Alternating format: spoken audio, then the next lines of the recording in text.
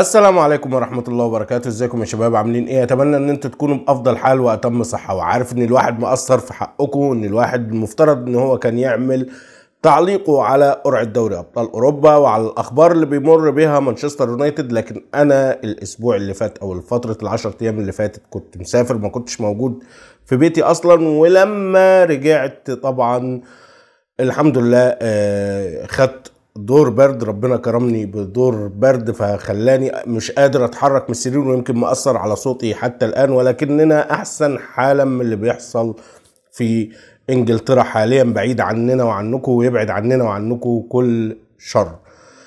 فخلينا نخش كده في الموضوع على طول. مانشستر يونايتد الفترة اللي فاتت حصلت فيه حاجات كتير. أكيد أنت عرفتها وأكيد أنت سمعت عنها وأنا مش جاي هنا عشان أقول لك الأخبار اللي حصلت مع مانشستر يونايتد ولكن جايين نعلق على الأخبار اللي حصلت مع مانشستر يونايتد. بداية من موضوع آه، الكورونا وإن مباريات تتأجل للفريق مرورا بقرعة دوري أبطال أوروبا والغلط اللي حصل فيها إلى ان في لعيبة حاليا عايزة تخرج من مانشستر يونايتد وممكن يكون في حكم المؤكد كمان إنها هتخرج من مانشستر يونايتد في يناير الجاي.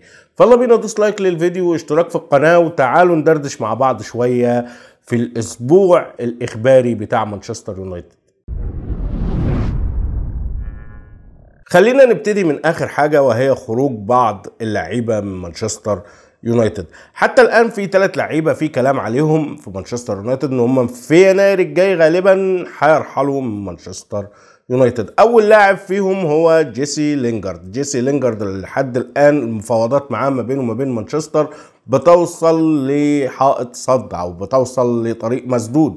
فبالتالي هو الراجل عايز يفكر إن هو يمشي في نهاية الصيف. لكن في أخبار بتقول لك إن في بعض الأندية الإنجليزية منهم نيوكاسل مع القيادة الجديدة بتاعته مهتمين بجيسي لينجارد وان مانشستر يونايتد حاطط مبلغ 20 مليون استرليني للاعب ده للانتقال. ولو تيجي تسألني هقول لك بالنسبة لجيسي لينجارد إحنا مش عارفين نستفيد منه حتى لما بنلعبه ما بنلاقيش منه إفادة أصلا. فبالتالي بيع اللاعب ده تأخر جدا جدا جدا بالنسبة لمانشستر يونايتد لأن بالنسبة لي واضح إن جيسي لينجارد لاعب فرق متوسطة يقدر يأدي في فرقة زي ويست هام يقدر يطلع بحاجة في الفرق دي لكن إنه يتحمل ضغط أو يتحمل فريق زي مانشستر يونايتد صعبة شوية إن هو يتحمل الموضوع ده. وإحنا بصراحة مش عايزين نقعد نقول كل شوية النجم الصاعد جيسي لينجارد. أعتقد إن هو أحسن ليه وأحسن لينا إن هو يشوف مصيره في حتة تانية. اللاعب التاني بقى اللي ده غالبا في حكم المؤكد إن هو خلاص عايز يترك مانشستر يونايتد هو أنتوني مارسيال. وأنا عارف إن ناس كتير هتفرح بالخبر ده. عندك طبعا وكيل أنتوني مارسيال قال لك الوضع في مانشستر ما ينفعش إحنا اللاعب ما بيلعبش فبالتالي إحنا محتاجين إن إحنا نغير الأجواء على طول وإن إحنا يجي لنا عقد إن أنت تشوف حالك في مكان تاني أو يعني إعارة في مكان تاني وبعد كده برضه يبقى في خروج إذا ما كانش في استمرارية في اللعب بالنسبة لمانشستر يونايتد. وبصراحة هقول له مع السلامة والقلب داعي لك ولكن في مشكلة بسيطة بالنسبة لي مع مارسيال وممكن بسببها أقول لك إن مارسيال ما يخرجش في يناير. هتقول لي إيه المشكلة؟ هقول لك المشكلة في اللاعب الثالث اللي هو حاليا عايزينه بره ومحتاجين إن هو يخرج.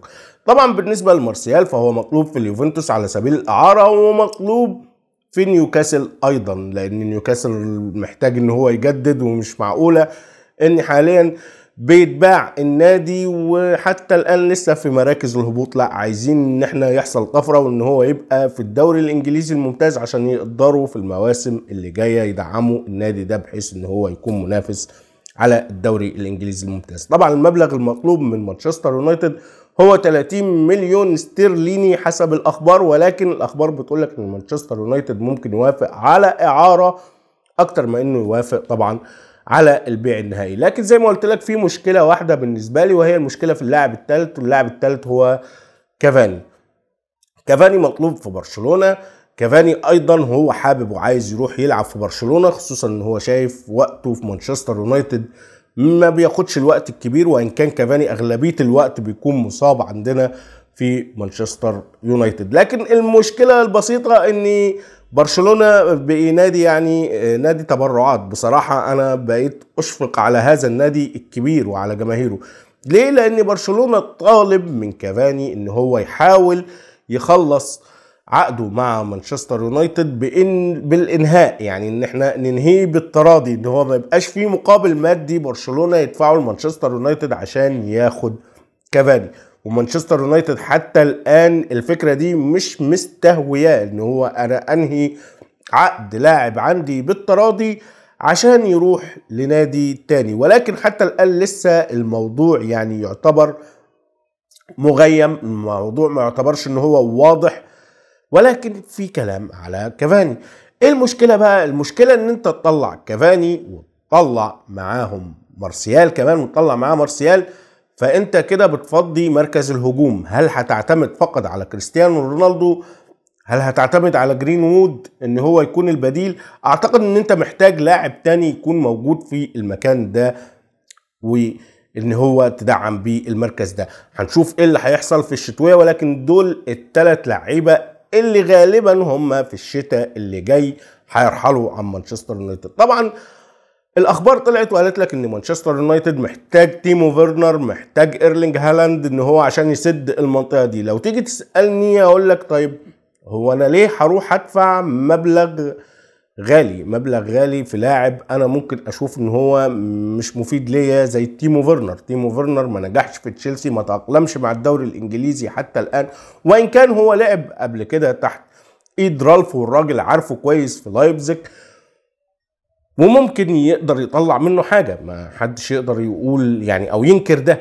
ولكن ليه أروح أدفع مبلغ عالي في لاعب زي ده وبعد كده آجي السنة اللي بعدها ولا بعدها بسنة وأقول أنا محتاج لسه مهاجم تاني محتاج إن أنا أحط حد في الهجوم خصوصا إن تيمو فيرنر إن أنت تعتمد عليه كمهاجم رئيسي بالنسبة لك أو كمهاجم أساسي أو إن هو يشيل الهجوم لوحده أو بمعنى أصح رقم تسعة صعب. الراجل يقدر يأدي لك موضوع الجناح كويس جدا. الراجل يقدر يأدي لك ال shadow striker أو التسعة ونص أو المهاجم التاني كويسة جدا. ولكن أنت محتاج مهاجم أساسي لأن رونالدو السنة دي السنة الجاية وخلاص على كده شطبنا. أنت محتاج حد يستلم منه المكان ده. الكلام على طبعا هالاند. هالاند أكيد زي ما بيقولوا كده هو الكيكه بتاعه دورتموند. كل الناس بصاله كل الناس محتاجة إن تجيب هالاند. كله عايز يجيب هالاند. أي فريق تبص له هيقول لك الهجوم عنده محتاج هالاند. فأكيد الصراع عليه هيكون صعب جدا. أنت لسه ليك مشاكلك مع مينو رايولا فهل هو هيقدر يسهل لك الموضوع ده أو هيبقى في صدام ما بين مانشستر يونايتد ورايولا؟ فبالتالي هيقف في الصفقة وإن الراجل يبص بره خصوصا إن الراجل لما لقيناه بيتكلم على الموكلين بتوعه ما ذكرش اسم مانشستر يونايتد من الناس من الفرق المحتملة أو الفرق الكبيرة على اعتبار تصريحه هو إن يكون نشوف فيهم هالاند في الفترة اللي جاية. ولكن كل ده تبع الشتاء وكل ده هنعرفه قريب جدا.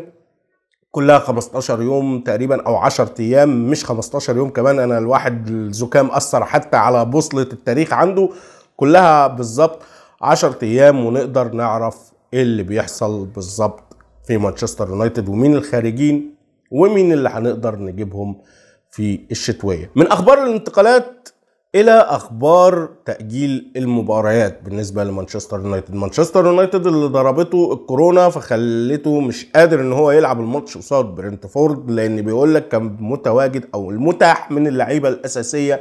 هم تسع لعيبة فقط لا غير. في حين إن في خبر قبل المباراة وقبل الخبر ده الخبر ده نزل بعد المباراة إن هو كان في تسع لعيبة متاحين فقط للمباراة دي.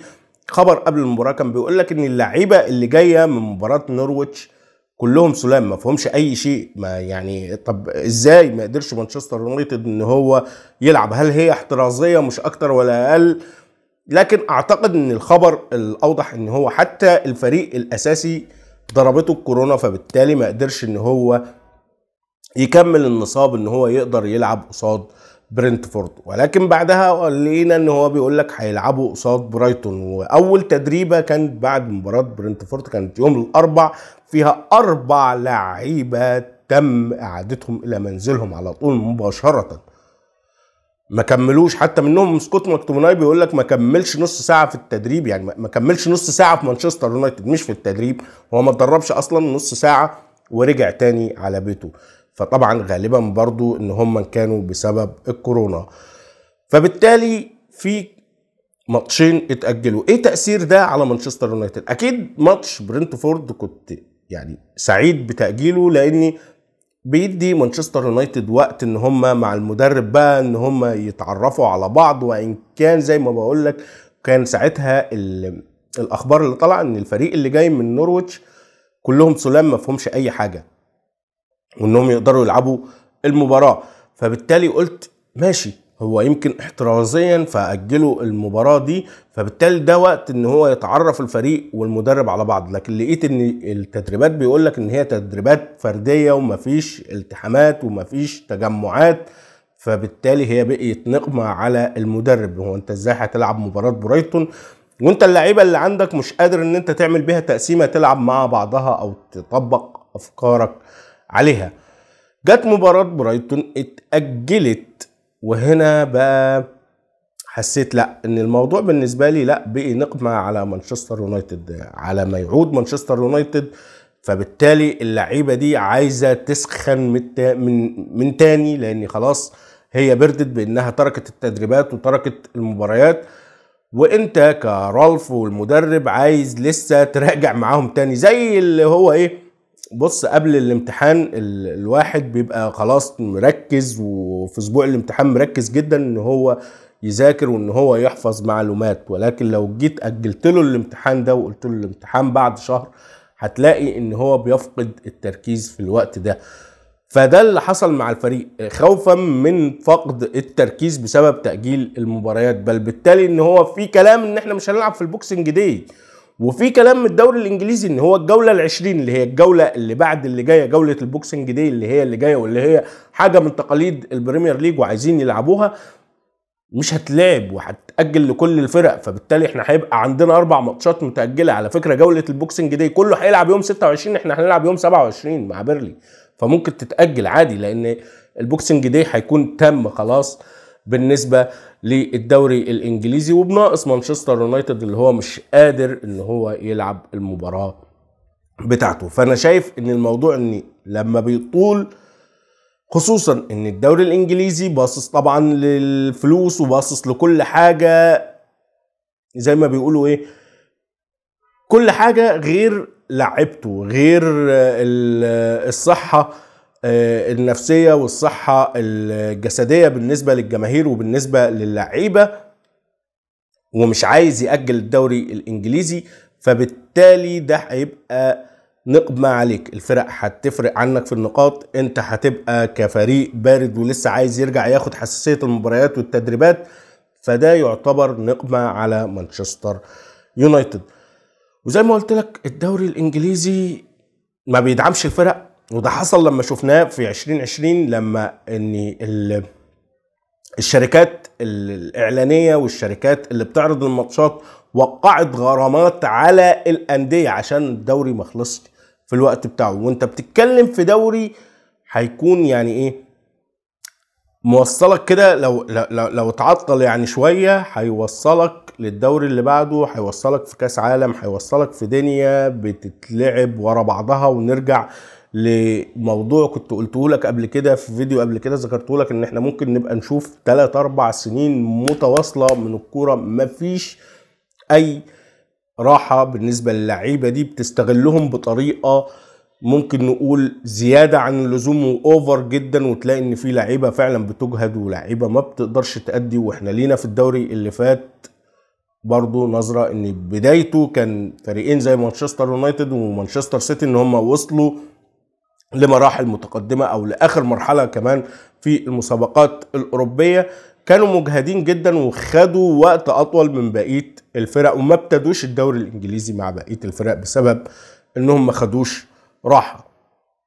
فكل دي عوامل مؤثرة ولكن زي ما قلت لك أنا شايفها إن هي عامل بصراحة سيء.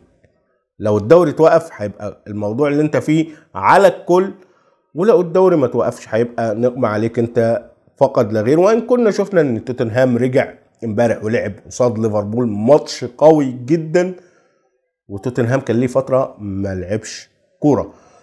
لكن نسيبنا من الموضوع ده والخبر ده ونخش على آخر حاجة معانا وهي قرعة دوري أبطال أوروبا. قرعة دوري أبطال أوروبا اللي اتعادت تاني بسبب مشكلة وخطأ كبير جدا وجسيم حصل فيها واني كورة مانشستر يونايتد ما تمش اختيارها عشان تواجه أتلتيكو مدريد أو تواجه كوره أتلتيكو مدريد ما كانتش من خيارات أتلتيكو مدريد. هو ما ما تعادش اللي هي قرعه دوري أبطال أوروبا بسبب إن إحنا طلعنا قصاد فيا ريال لأن الخطأ ده اتعدل في وقتها وإن أنت عدت القرعة تاني وطلع مانشستر سيتي.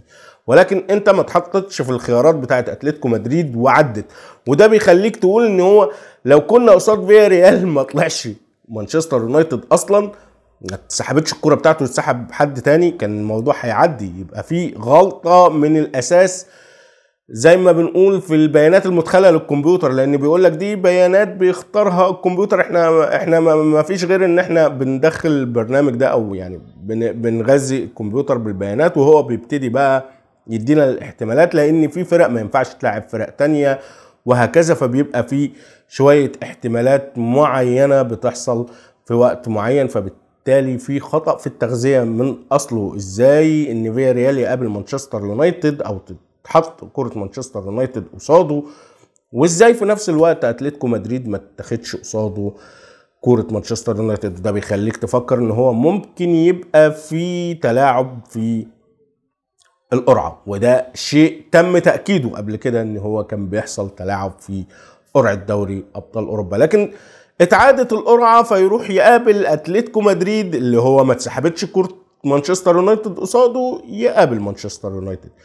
طيب إيه رأيي في القرعة بالنسبة لقرعة باريس وبالنسبة لقرعة أتلتيكو مدريد؟ بصراحة شديدة أنا شايف الفرقتين واحد. هتقول لي إزاي أنت شايف باريس سان جيرمان زي أتلتيكو مدريد؟ هقول لك إن أنا شايف أسلوب بوكيتينو وأسلوب سيميوني الاثنين بيعتمد على الدفاع. بس في فارق طبعا ما بين الفرقتين.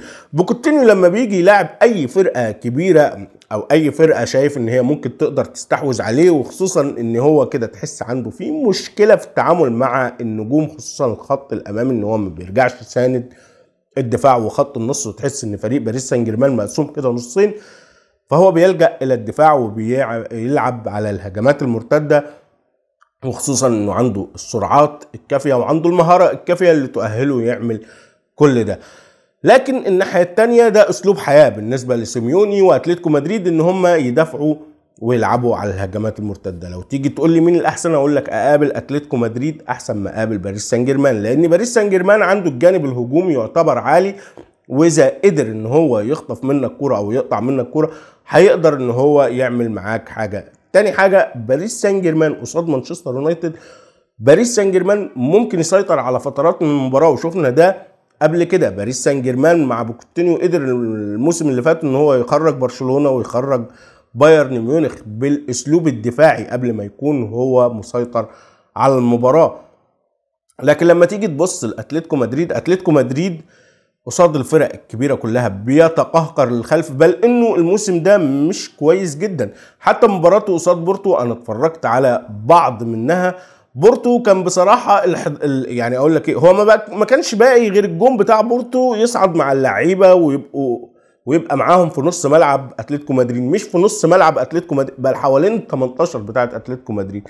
فبالتالي هو كان فيه هجوم ضاغط زيادة عن اللزوم من بورتو لأن كان متأخر في النتيجة. واحد لا شيء. فبالتالي كنت بتلاقي كل شوية هجمة من أتلتيكو مدريد. اللعيبة ثلاثة واثنين منفردين بالمرمى وده خطأ من بورتو إن هو مش مأمن دفاعاته إن هو سايب مساحة كبيرة وطبعا اللعيبة اللي عنده في الدفاع ما هياش لعيبة بتمتاز بالسرعة فبالتالي بيقدر أتلتيكو مدريد إن هو يوصل قدام لمراحل آه، الخطر أو لإنه يهدد مرمى بورتو. لكن لو تيجي تبص لها أنت تقدر تسيطر على أتلتيكو مدريد. أنت تقدر إن أنت تستحوذ قصاد أتلتيكو مدريد وتمتلك الملكة دي. ما عندكش الاندفاع اللي كان بيعمله بورتو. لا عندك توازن ما بين الدفاع والهجوم. بتقدر إن أنت بنشوف مع رالف إن أنت بتقدر تستعيد الكورة كويس جدا وبتقدر تدافع نوعا ما كويس جدا. ولكن الماتش لسه شهر اتنين. معرفش ساعتها هتكون انت تشربت اسلوب راجنك أكتر من كده وافضل من كده فبالتالي تكون الكفة مايلة أكتر ناحيتك. ولا نشوف ان اتلتيكو مدريد بيستعيد بعضا من قوته. وان كنت شايف ان حتى لو اتلتيكو مدريد استعاد بعضا من قوته إحنا لينا في الموسم اللي فات يعني نظرة. بص على ماتش تشيلسي وأتلتيكو مدريد. أتلتيكو مدريد كان في عزه كان في أحسن حالاته وكان بيتقال إن أتلتيكو مدريد هيقصي تشيلسي ويقدر إن هو يعدي وإن تشيلسي على قد يد أتلتيكو مدريد. لكن استطاع تشيلسي إن هو يفوز ذهابا وعودة لاني ما كانش تشيلسي أقوى من أتلتيكو مدريد أو ده مش السبب الأساسي. السبب الأساسي كان سيميوني ذات نفسه اللي لعب على الدفاع وعلى التقهقر للخلف وساب الكورة تماما لتشيلسي. فأنا بالنسبة لي أواجه أتلتيكو مدريد أفضل بكتير طبعا من أواجه باريس سان جيرمان اللي هيواجه ريال مدريد واللي ممكن نشوف إن راموس بيلعب قصاد فرقته القديمة زي ما بيقولوا بيسجل فيها مثلا بعض الناس قالت لك ويسجل فيها في المباراة. لكن الناس تجاهلت حاجة إن في حاليا أخبار بتقول لك إن مبابي غالبا في يناير ممكن يروح ريال مدريد لأن باريس سان جيرمان مش عايز يخسروا بدون أي فلوس ويكسب من وراء أي حاجة فيبقى ساعتها راموس بيواجه فريقه القديم ومبابي بيواجه فريقه القديم. آسف جدا إن أنا طولت عليكم في الفيديو ده بس مستني منكم آرائكم في الكومنتات تقولوا لي إيه رأيكم في اللعيبة اللي عايزة تخرج من مانشستر يونايتد مارسيال ومعاه كافاني ومعاه كمان جيسي لينجارد. إيه رأيكم في توقف المباريات بالنسبة لمانشستر يونايتد؟ وهل نوقف الدوري كله ولا لأ؟ وهل دي نقمة ولا نعمة بالنسبة لمانشستر يونايتد؟ يعني يقدر يستفيد منها أم هتكون حاجة سيئة على مانشستر يونايتد؟ وتالت حاجة بقى مين أنت شايفه أحسن بالنسبة لنا؟ نواجه باريس سان جيرمان ولا نواجه طبعا أتلتيكو مدريد؟ بتأسف ليكم مرة تانية إن أنا ما قدرتش أعمل فيديو في الفترة اللي فاتت ولكن كانت ظروف خارجة عن إرادتي وإن شاء الله إن شاء الله ربنا ما يعيدها. ويحفظكم ويحفظنا من كل شر ويخليكم دايما بأتم صحة وأتم حال. وأشوفكم إن شاء الله في الفيديو الجاي. والسلام عليكم ورحمة الله وبركاته.